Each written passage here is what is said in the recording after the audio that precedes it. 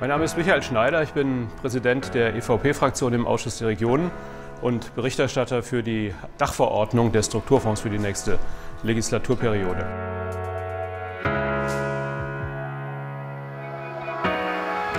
Wir sind im Großen und Ganzen sehr zufrieden mit den Vorschlägen der Kommission für die Strukturfondsverordnungen. Wir haben nur einige substanzielle Verbesserungsvorschläge. Ich will drei nennen.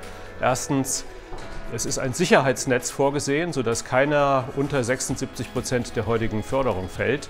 Das bezieht sich auf die nationale Ebene. Wir sagen, das muss sich auf die regionale Ebene beziehen, sonst gibt es in einzelnen Mitgliedstaaten Disparitäten. Zweitens, wir äh, können es nicht akzeptieren, dass die Kofinanzierungssätze der EU äh, intensiv gesenkt werden. Wir sagen, bei Übergangsregionen darf die Kofinanzierung nicht unter 70 Prozent sinken.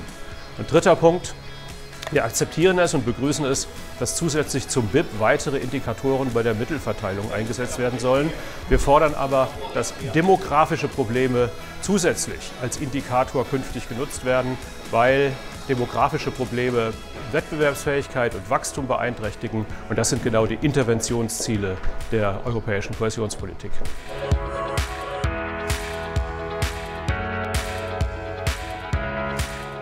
Wir haben an die Verhandlungspartner Parlament und Rat eine dringende Bitte.